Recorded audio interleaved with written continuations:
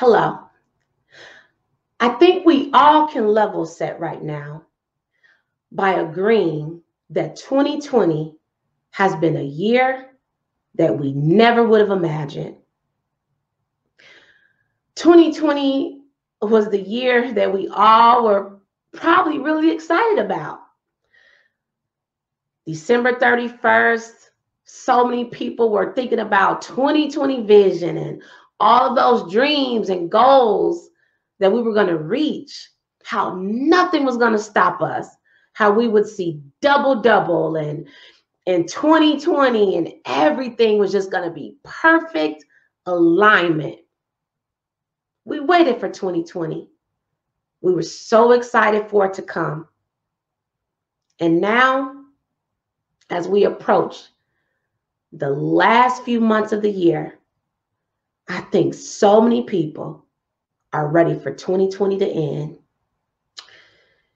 You see, 2020 has been full of so many ups and downs, highs and lows from the global pandemic that we wouldn't have thought about in a million years.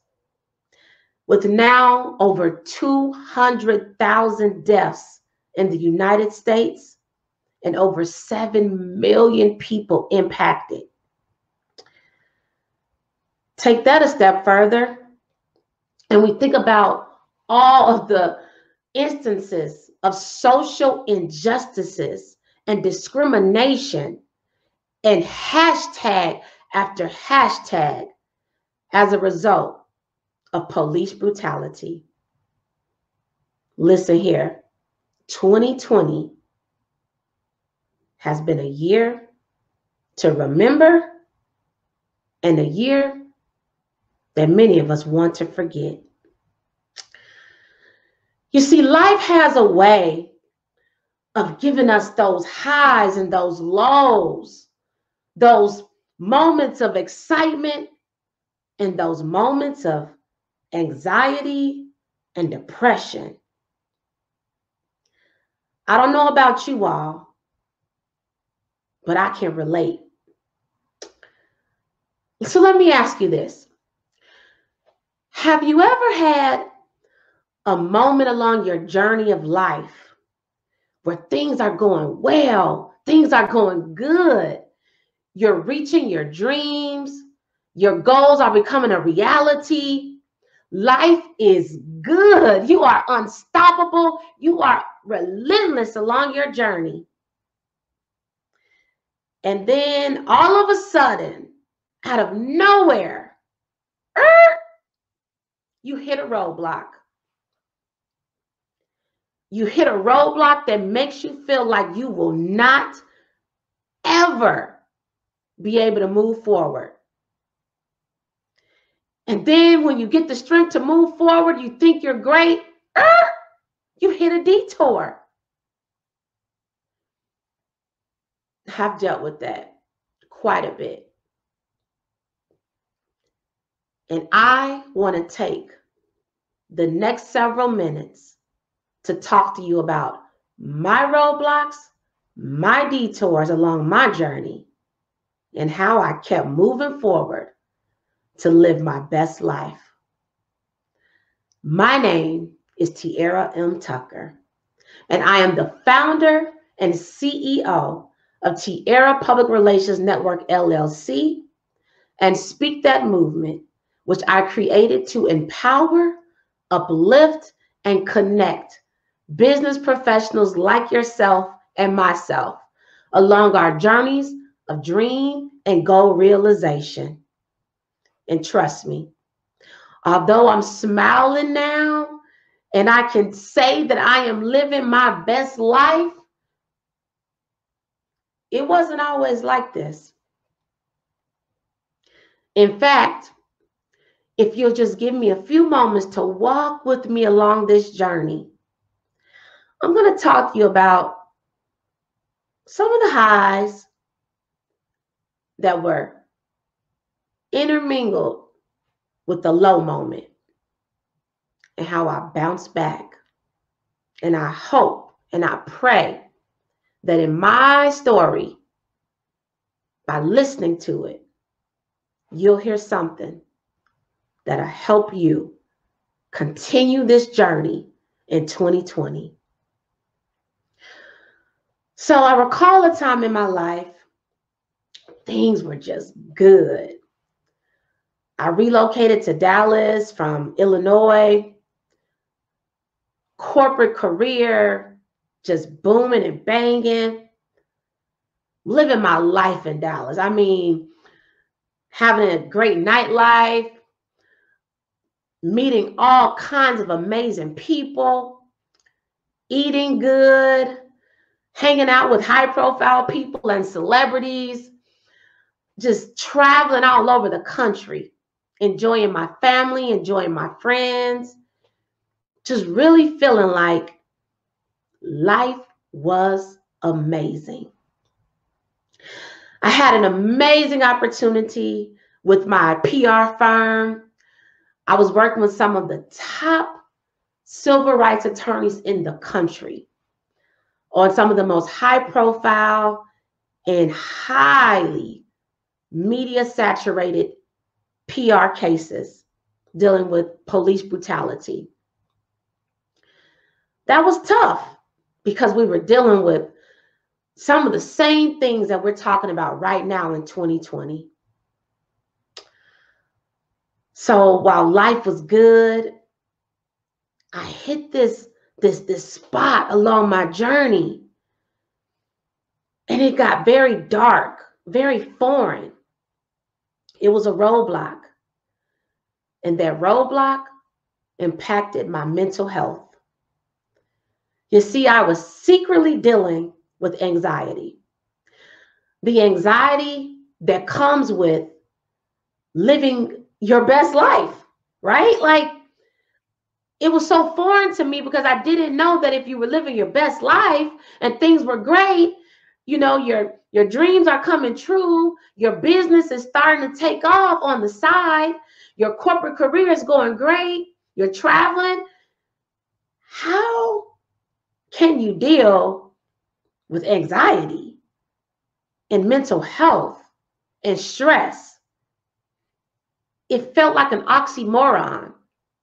And even more, I'm the woman would speak that movement that's empowering people to speak things into existence.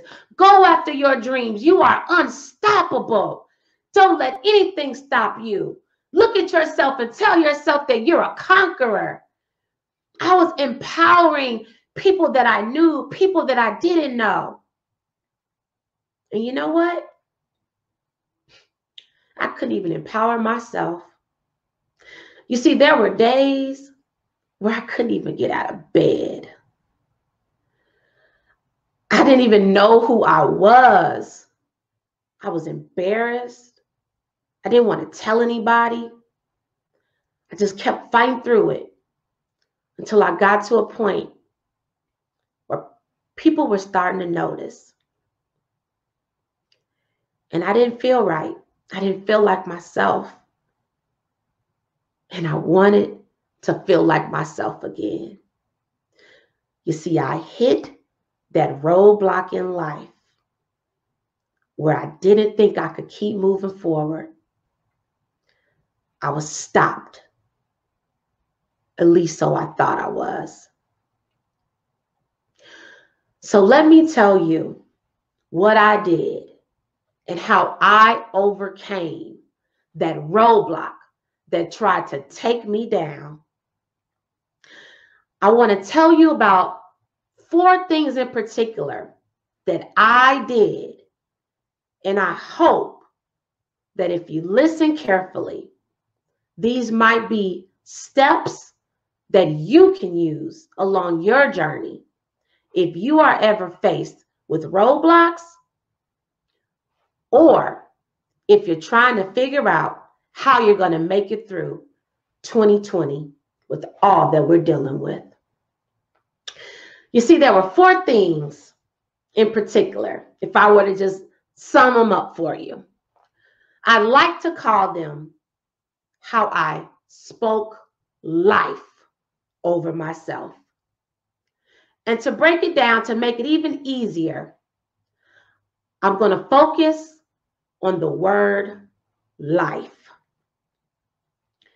So here is what you can do to come back after a setback or to come back after anything that you're dealing with in life that feels like it has you stopped. Life. L. Let go. Just let go. Let go of the embarrassment. Let go of the stigma attached to what you're feeling. Let go of what other people may think. You see, I had to let go of all of that because I realized that there are millions upon millions of people dealing with mental health issues. And I was one of them. And I know that there's somebody listening right now who is dealing with it too. But see, when I let go, I let go. I let go. I had to say that, you know what? In order to overcome this roadblock, overcome this setback, to live my best life, I have to let it go. And I can't be embarrassed. I can't be ashamed. I have to keep moving forward. I intentionally pause and escape. That's what I had to do. After I let go, I intentionally paused and I had to escape. So for me, I was blessed with the opportunity to take some time off, shut down, and I flew to Denver, Colorado. You see, in Denver, Colorado, I truly was able to release and I was able to get myself back. I was able to reflect, to pause. I was introduced to this concept called mindfulness. I learned what mindfulness meant. Mindfulness means being present, being fully present in the moment, focusing on the now, the right now, observing everything around you and taking it all in. I did mindfulness yoga in Denver, mindfulness hiking. You see, I even got to a point where I hiked a mountain, 11,000 square feet in the in the in the sky.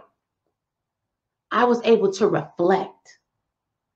I was able to ask myself, what do you want out of this life? What is stopping you? What is in your way? And how are you going to overcome it? And I recognize not everybody can escape to Denver like I did, but I would encourage you to escape. Escape in your home, escape in your prayer closet, escape in just your neighborhood.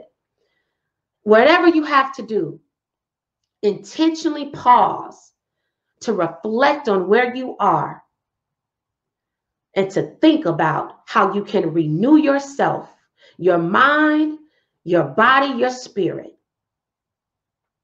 And F, focus on you and focus on God. You see, I had to focus on myself. It wasn't about anybody else at that moment. I had to focus on me, my dreams, my goals. What was it in me that was burning? What were my passions? What did I want the next day, the next hour, the next month, the next year to look like? And I had to be very strategic. I had to really dig deep to search for my purpose, to search for my calling. And I had to seek God.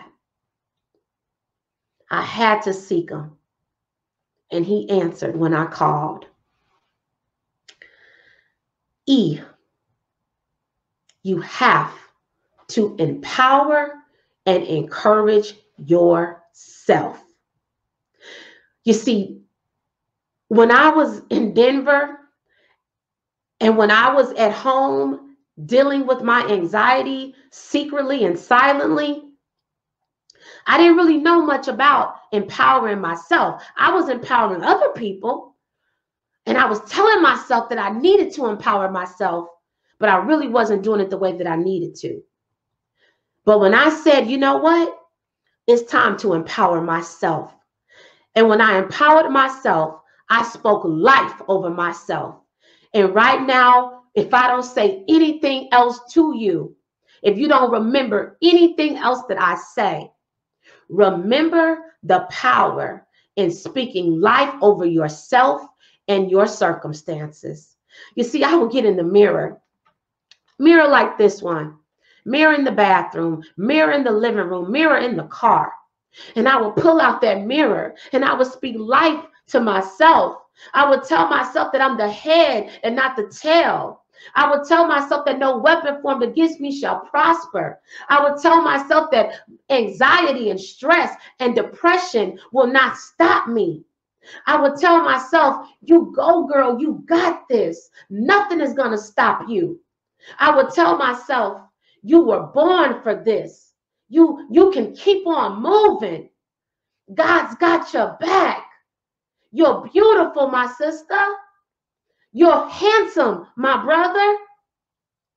Everything that you need is inside of you. So dig deep for it. Find it. Search for it. Don't let a roadblock stop you. You have everything in you, Tiara, to keep on moving, to keep on fighting, to keep on empowering other people, to keep on making your dreams come true, to keep on reaching your goals, to keep on living your best life. I continuously speak life over myself. And in 2020, I can't tell you how many times I've had to speak life over myself. When I think about the pandemic, when I think about the social injustices, when I think about another one of my brothers and sisters being murdered, I have to speak life over myself. I have to speak life over the families. I have to speak life over my family. I have to speak life over my circumstances, my dreams, my businesses, and my mind. And I encourage you all to do the same. So, as I close, I invite you, if you're able, to join me in one more thing that I had to do and I do every single year to help me finish the year strong and start a new year. I read and recite an affirmation statement that I wrote a couple of years ago. I wrote it to go along with the Speak That Movement empowerment calendars that I've been creating the past few years. So if you can just repeat after me, speak this into the atmosphere. I will not be discouraged to pursue my personal and professional dreams. I will unapologetically dream with no limits because I know my possibilities and opportunities are endless. When God gives me a vision, He will give me provision because He is able. I will enjoy this amazing journey called life. Let my light shine and patiently trust the process. When tired and weak, I will believe I can do all things through Christ who strengthens me. I know that death and life are in the power of my tongue which means my words have power. I will speak positively, purposefully, and passionately. I will speak life over myself and my circumstances. My steps are ordered, so I will fearlessly walk by faith, even when I cannot see what lies ahead. I was born to be blessed and to be a blessing to others. I have just spoken this declaration and affirmation into existence. And in all my ways, I will honor him. Thank you for repeating that after me and for believing in it and for believing in yourself. So, again, my name is Tiara M. Tucker.